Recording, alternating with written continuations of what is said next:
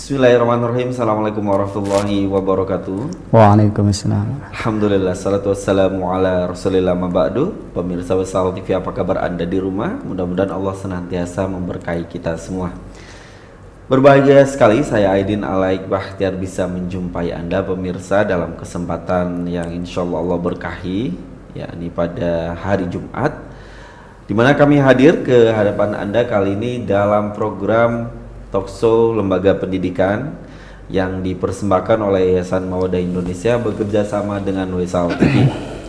Dan di studio Wesal TV sudah ada dua Ustadz narasumber yang pertama sebelah kanan paling jauh dari saya ada Ustadz Abdurrahim SPD. Beliau adalah uh, Kepala Litbang SMA Future Gate. Assalamualaikum warahmatullahi wabarakatuh Ustadz. Waalaikumsalam warahmatullahi wabarakatuh. Dan di tengah-tengah kami ada Ustadz Rizky Aji SSI MM. Beliau adalah Kepala Asrama SMA Future Gate Bekasi. Assalamualaikum warahmatullahi wabarakatuh. Waalaikumsalam warahmatullahi wabarakatuh. Ya pemirsa Sal TV yang berbahagia acara ini hadir Alhamdulillah pada setiap hari Rabu pukul 1 hingga pukul 2 siang dan hari Jumat pukul uh, 10 hingga pukul 11 siang dan acara ini menghadirkan narasumber dari Lembaga Pendidikan Islam Indonesia tentunya untuk memberikan informasi yang akurat kepada Anda karena sebentar lagi ya uh, akhir tahun ajaran selesai dan akan dibuka tahun ajaran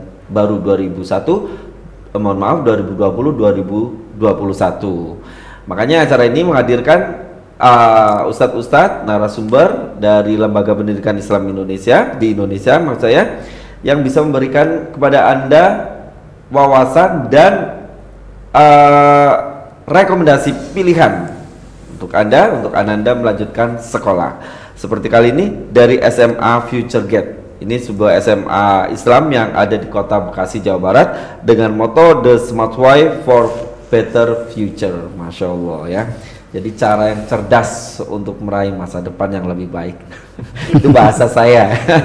baik, ya kita ke Ustaz Abdul Rahim dan Ustadz Rizky Haji.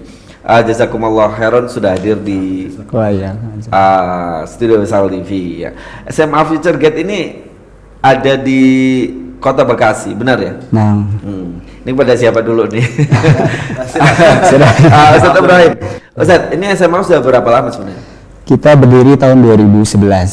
2011. Nah, uh, untuk yang putranya. Kemudian oh, putra putri. Putra putri. Uh. Kita punya dua sekolah, putra putri. 2011 itu yang putra, hmm. setahun kemudian 2012 itu baru yang putri. Hmm. Setelah itu tahun 2018 baru kita membuka yang putri tapi full day. Oke, ini dari namanya kan ke Inggris-Inggrisan ya. Tapi ini bahwa ini benar sekolah Islam ya, Ustaz. Nah, Sekolah Islam. Sekolah Islam bermanhad salaf. Bermanhad salaf. Bermanhad salaf. Jamaah ya. Jadi walaupun uh, namanya memakai bahasa Inggris tapi tetap uh, program-programnya yang Islam gitu ya. Oke. Okay. Uh, SMA ini pemirsa Usaha TV ada di Kota Bekasi dan ternyata membuka untuk ikhwan dan akhwat untuk putra dan putri. Kampusnya sama gimana sih?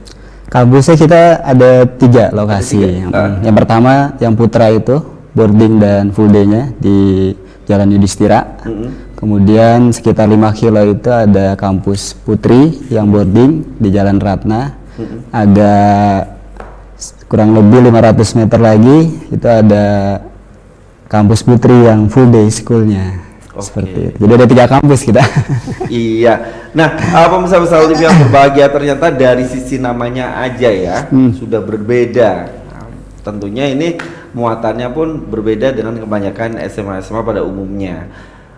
Bagi Anda khususnya yang ada di Jabodetabek, uh, baik Anda laki-laki maupun perempuan, Anda bisa melanjutkan sekolah ke SMA Future Gate, Future Gate karena uh, SMA ini memiliki banyak program strategis, program unggulan. Nah, kita akan berbincang juga uh, dengan beliau ada Ustadz Rizky Aji.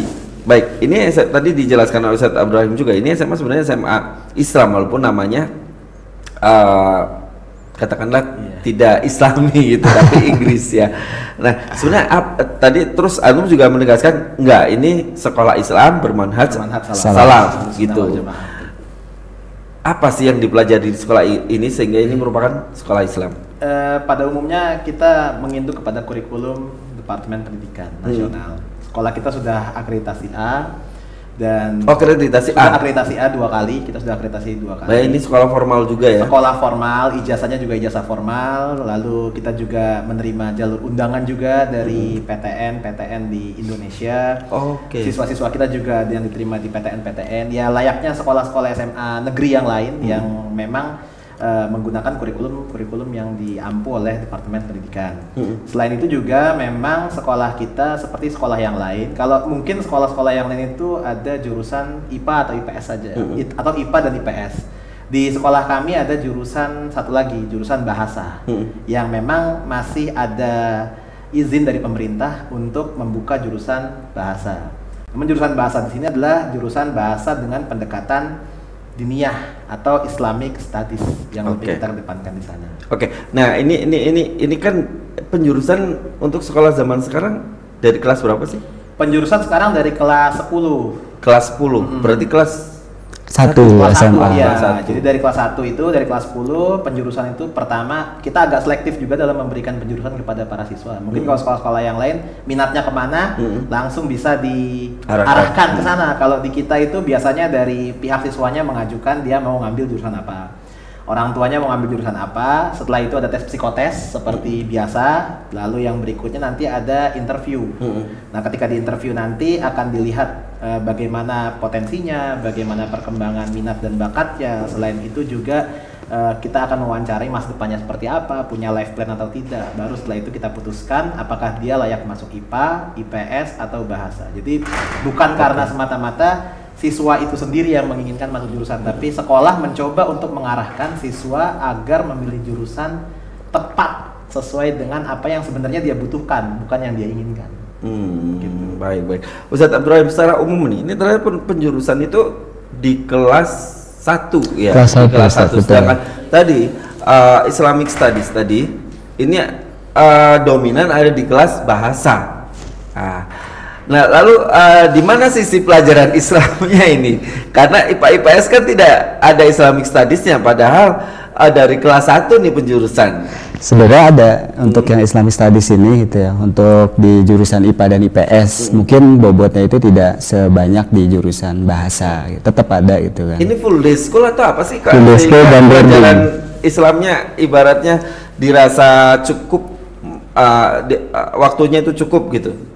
Full day school dan Full day boarding. Ah, ah. kegiatan untuk KBM-nya memang kita di dari jam 7 ya, jam 7.10 sampai dengan jam 16 Jam 4 sore. jam 4 sore, kemudian yang full day itu IPA, pulang, IPS, bahasa IPA, IPS dan bahasa gitu. Oke. Kemudian untuk yang boardingnya itu eh, biasanya istirahat tuh dari Istirahat. jam 4 sore sampai jam 6 sore. Oke, berarti ini ada boardingnya juga ya? Betul sekali. Boarding dan uh, reguler atau full day-nya banyakan mana nih? Boarding terbatas. Setiap satu angkatan kita buka boarding hanya 15 siswa saja. 15 siswa. 15 siswa saja. Sedangkan untuk full day kuotanya bisa sampai dengan 90 orang. Oke, berarti yang 15 ini bisa jadi dari luar kota ya? Justru kita tidak membuka boarding untuk siswa dari luar kota. Karena memang kita mengkhususkan boardingnya itu setiap sepekan sekali pulang. Nah, ini unik. Oh. setiap sepekan sekali pulang. Weekend pulang. Weekend pulang. Jadi Wajib pulang. Iya, wajib pulang. Karena apa? Karena kita mengasuh atau mendidik siswa laki-laki. Ini yang Ini, ini laki-laki. berarti siswanya dari Bekasi semua tuh gimana? Bekasi, Jakarta, Bogor, Tangerang, tapi pulang di Oh. akhir pekan.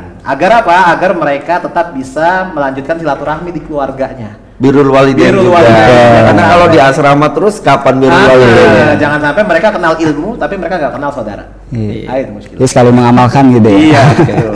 Berarti tiap weekend Pulang. hari Sabtu Ahad Jumat, atau kita Jumat sore udah pulang. Jumat sore sudah Ah, dibolehkan pulang. Senin Oh berarti ini sekolahnya lima hari ya, Senin sampai Senin sampai dengan Jumat.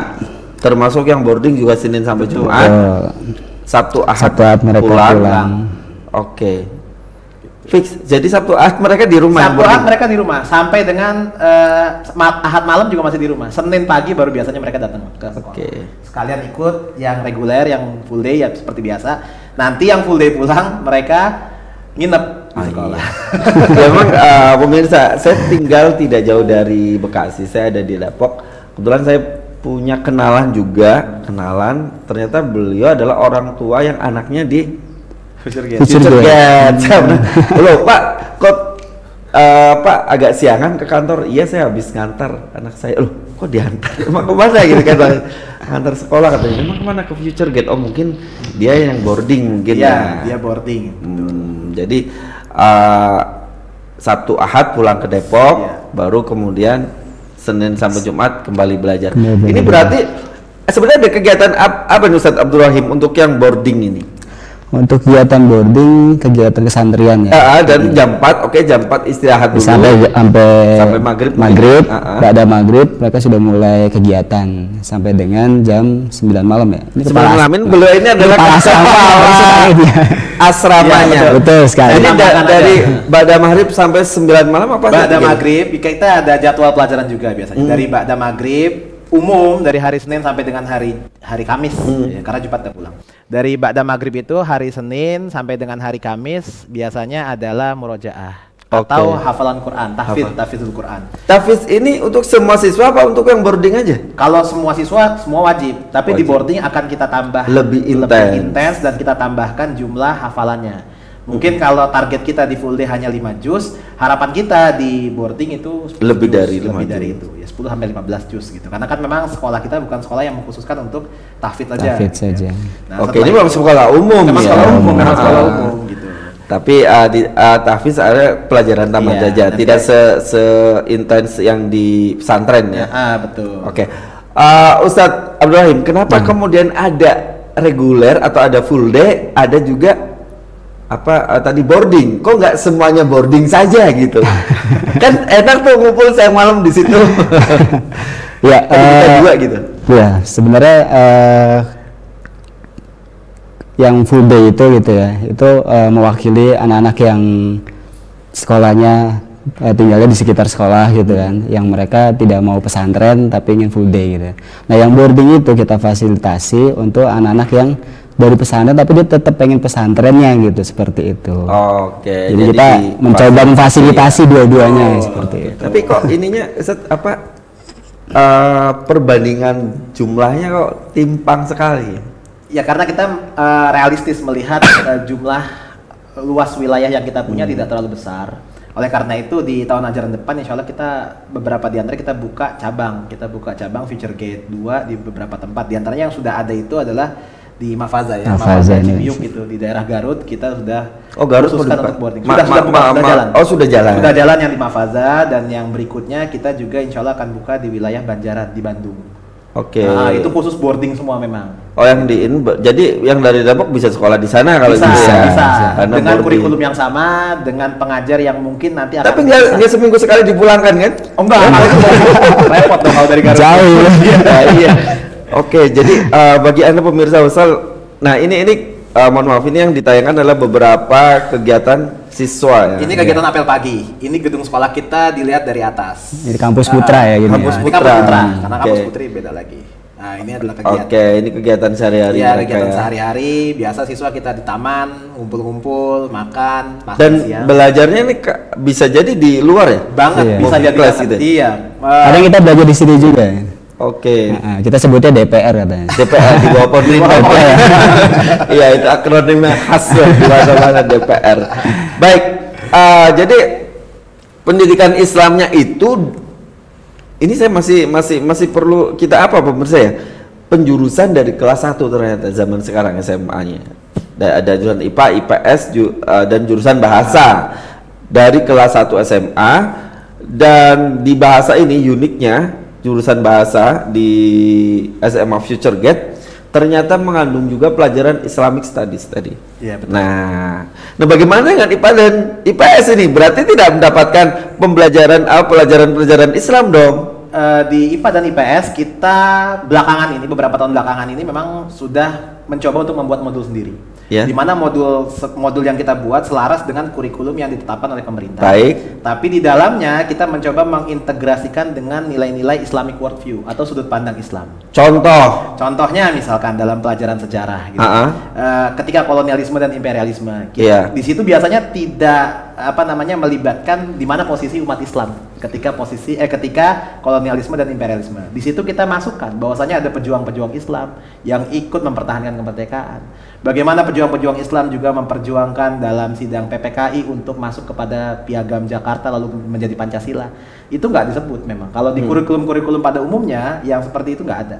Tidak Oke. muncul. Selain itu misalkan karena saya juga guru sejarah gitu ya, paling sejarah aja gitu kita, kita integrasikan ya. Pelaku juga ya.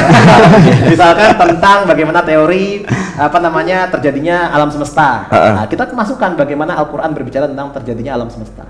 Itu Oke. kan di Dan itu ada di modul. Itu ada di modul. Bukan hanya uh, apa penjelasan dari guru Bukan- saja. Bukan hanya penjelasan guru, itu ada di modul dan beberapa di antaranya karena itu ada di modul kita gunakan juga sebagai soal ujian. Oke, kita masukkan baik. soal ujian. Jadi sejauh mana tingkat pemahaman siswa? Kan sekarang basicnya ujian itu kan HOTS ya, high order thinking Think skill. skill.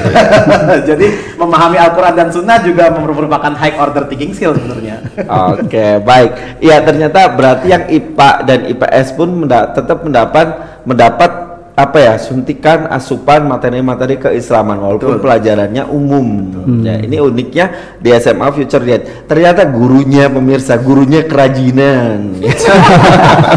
Udah ada modul dari Diknas tetap ditambahin nilai-nilai Islami. Tapi ini adalah memang menjadi uh, semacam apa ya cita-cita juga Dan agar identitas Islam itu jawab. tidak hilang dari iya sebenarnya. identitas Islam apalagi memang sekolah ini bermanhaj ahlu sunnah baik pemirsa Usal TV yang berbahagia kita akan jeda sebelum jeda saya sampaikan kepada anda kalau anda ingin berpartisipasi di acara ini untuk bertanya kepada narasumber kita tentang SMA Future Gate silakan sampaikan dalam bentuk pesan singkat dan pesan WhatsApp ke nomor 0822 satunya lima kali satu satu satu satu satu nol 36. Baik, jangan mana-mana insya Allah setelah jeda iklan berikut ini kami akan segera kembali tetap bersama Wisal TV.